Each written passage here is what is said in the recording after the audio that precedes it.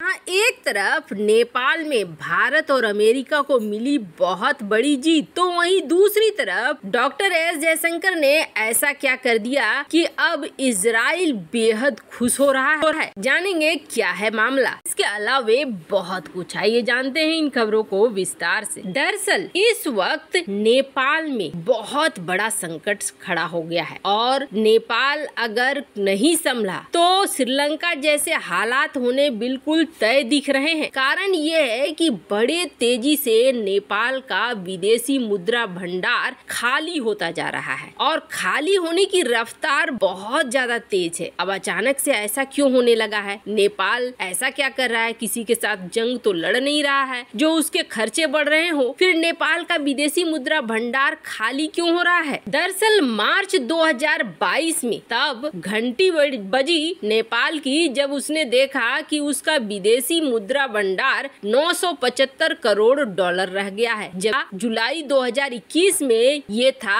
1175 crore dollar. करीब सात महीनों में नेपाल की विदेशी मुद्रा भंडार में करीब 200 करोड़ डॉलर की कमी आई, और नेपाली रुपए में ये कितना बड़ा रुपए होता है? चौबीस हज़ार करोड़ नेपाली रुपए। अब किसी भी देश की अर्थव्यवस्था में विदेशी मुद्रा भंडार का बहुत बड़ा योगदान होता है। लेकिन आप देखेंगे कि यही माना जाता है कि किसी भी देश के पास कम से कम सात महीने का बजट होना चाहिए। विदेशी मुद्रा भंडार इतना ज़रूर होना चाहिए कि सात महीने की खरीद वो आराम से कर सके। विदेशी मुद्रा भंडार का इस्तेमाल ज़्यादातर देश करते हैं किसी चीज़ की खरीद के लिए, हथियारों की हो, अनाज की हो या चीज़ों की हो। जैसे ही नेपाल में ये सब कुछ देखने को मिला, वैसे ही नेपाल ने कार महँगे बाइक, शराब, तंबाकू बत्तीस इंच से बड़े टेलीविज़न, सब पे बैन लगा दिया कि ये अब नहीं खरीदे जाएँगे। नेपाल ने यह पहले ही उठा लिया कि कहीं श्रीलंका वाला हालात न पैदा हो जाए। आपको बता दें, ये जो प्रतिबंध लगाए गए, उससे थोड़ा बहुत फ़ायदा तो नेपाल को हो रहा था। लेकिन नेपाल अभी भी टेंशन में था और ऊपर से चीन ये कोशिश कर रहा था कि किसी तरीके से नेपाल की अर्थव्यवस्था में घुस जाए। वही हाल करे जो हाल श्रीलंका का हो गया है। अभी श्रीलंका का जिस तरीके से अस्थिरता हो गई है, अगर चीन चाहे तो कब्जे को बढ़ाता चला जाएगा हमन टोटा पोर्ट से। ऐसे में ही वो नेपाल के साथ भी करने की कोशिश कर रहा था। श्रीलंका की बड़ी मदद भारत तो कर रहा है, लेकिन भारत एक साथ अपने कितने पड़ोसियों की मदद करेगा? ऊपर से जिस तरीके से रूस यूक्रेन की लड़ाई चल रही है, ऐसे में महँगाई बढ़ती जा रही है आम लोगों के चीज़ों की भी, और उसका असर भी देखने को मिल रहा है। नेपाल पहले इतना खरीदता था, उससे कहीं ज़्यादा इस बैन से पहले खरीदने लगा था। आपको बता दें, नेपाल का जितना अंतर्राष्ट्रीय व्यापार चलता है ना, उसमें नब्बे प्रतिशत तो वो खरीदता ही है, बेचता है मात्र दस प्रतिशत। और खरीद और ज़्यादा बढ़ने का मतलब है, नेपाल की हालत क्या होगी आप समझ लीजिए। पिछली जो सरकार थी नेपाल की, वो नेपाल को पूरी तरीके से चीन के हाथ का खिलौना बनाना चाहती लेकिन अब आखिरकार नेपाल ने एक बड़ा फैसला लिया और ये फैसला कहीं न कहीं अमेरिका और भारत के लिए बहुत बड़ी जीत है। दरअसल,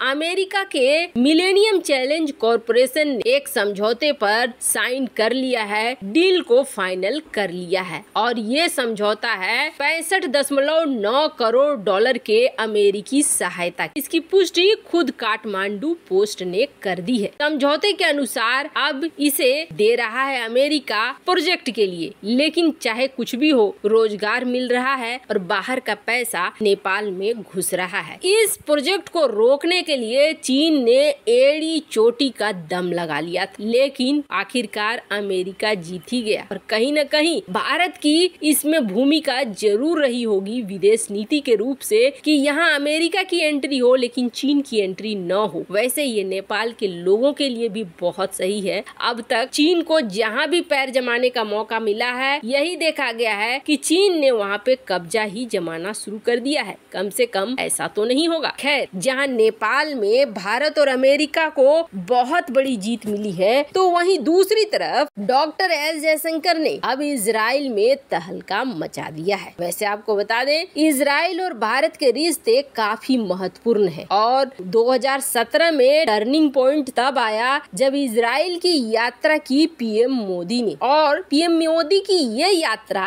ऐसी थी जो दुनिया ने सोचा नहीं था कि इस तरीके का यात्रा भारत कर लेगा। इसराइल और फलस्तीन में थी तगड़ी वाली दुश्मनी। फलस्तीन को था अरब देशों का सपोर्ट। मतलब एक तरफ़ मुस्लिम समुदाय के देश थे तो वहीं दूसरी तरफ़ इसराइल था। तो पीएम मोदी के पहले की सरकारों ने दूरी बनाकर रखनी शुरू की। पर पीएम मोदी ने आते ही उस परंपरा को तोड़ दिया और उन्होंने इसराइल भी पहुँचे, फलस्तीन भी पहुँचे, हर जगह पहुँचे। इसराइल और भारत की दोस्ती 2017 के बाद जिस रफ्तार से आगे बढ़ती हुई दिखी ना, उस तरीके की पहले कभी नहीं दिखी थी। ऐसे इसराइल के साथ भारत के गुपचुप रिश्ते थे, लेकिन बिल्कुल इतने खुले तौर पर नहीं थे कि अब तो खुल्लम खुल्ला दोनों ही देश सामने आ जाते हैं। और माना जाता है कि इसराइल में पीएम मोदी की लोकप्रियता बहुत ज़्यादा है। नेतन्याहू के साथ दोस्ती हो या नफ्ताली बेनेट के साथ रिश्ते हो, हर जगह देखने को मिला है कि इसराइल किस तरीके से भारत के सपोर्ट में आता है। अभी भी जब स्थितियाँ बहुत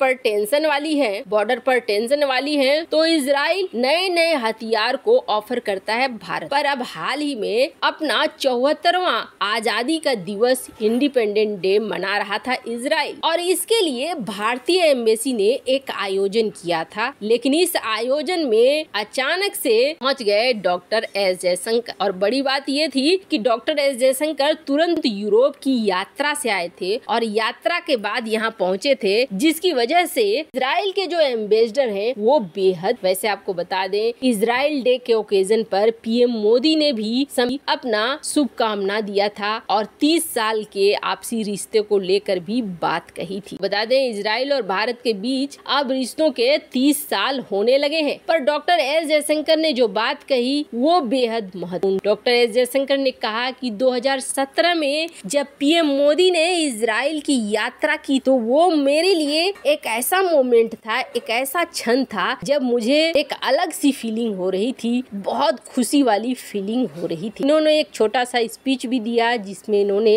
बहुत तरह की बातें कही इसराइल और भारत के संबंधों को लेकर। अब उनके बाद जो इसराइल के अम्बेसडर हैं, भारत में नौर गिलोन, उन्होंने बात को लेकर जहाँ मीडिया को बताया कि भारत उनके लिए क्या महत्व रखता है। उन्होंने कहा कि तुरंत आए हुए थे यूरोप से डॉक्टर एस जयशंकर, लेकिन वो हमसे मिलने आए। उन्होंने इस समारोह में अपने आप को उपस्थित करवाया। ये हमारी दोस्ती को दिखला रहा है और हम चाह रहे हैं कि हम दोनों देशों की दोस्ती और भी ज़्यादा आगे बढ़े। यहाँ एक तरफ़ इसराइल अपना चौहत्तरवा एनिवर्सरी मना रहा है तो वहीं तीस सालों की भारत के साथ दोस्ती की एनिवर्सरी भी मना रहा है। वैसे उन्होंने साफ़ किया कि जल्द ही नफ्ताली बेनेट भी भारत आएँगे। वैसे आपको क्या लगता है, पाल में अमेरिका की ये एंट्री बेहद ज़रूरी थी? कमेंट कर अपनी राय ज़रूर बताएँ। जल्द मिलते हैं अगले वीडियो में नई